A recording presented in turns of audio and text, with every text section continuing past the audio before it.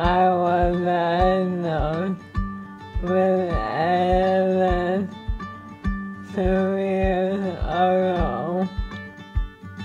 We all really depend on technology. The challenge is that not everyone is getting the technology they need.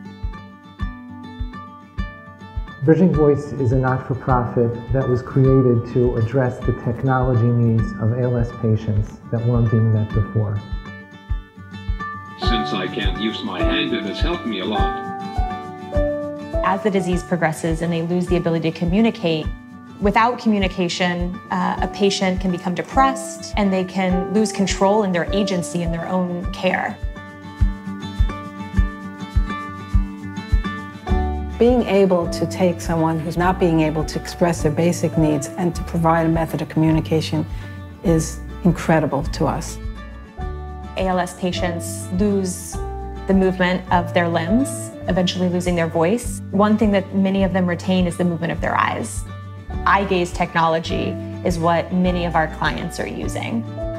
This technology enables patients to be able to use, with only the movement of their eyes, to type out words, sentences, and gain access to the World Wide Web in the entire world. I can't open emails with pictures sometimes. And that's a problem. That's the limitation of the grid.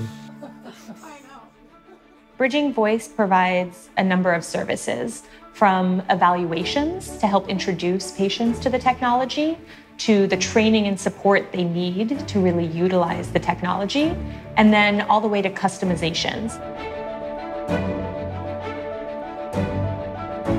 When we first meet them, we kind of ascertain what their needs are, their environment, the people they need to communicate with. I don't think we would have really known about it or gotten a device like this if it wasn't for Bridging Voice.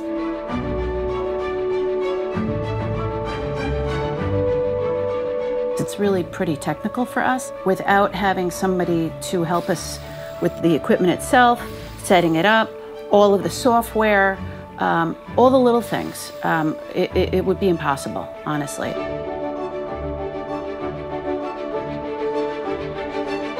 There is a whole list of customizations that we have in our toolbox, which allow us, with each one of these customizations, to remove hundreds or thousands of clicks a day from the life of an ALS patient through their eye tracking technology.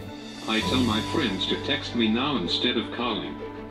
And with each new thing that we put on it makes just slightly more improved, I think, quality of life.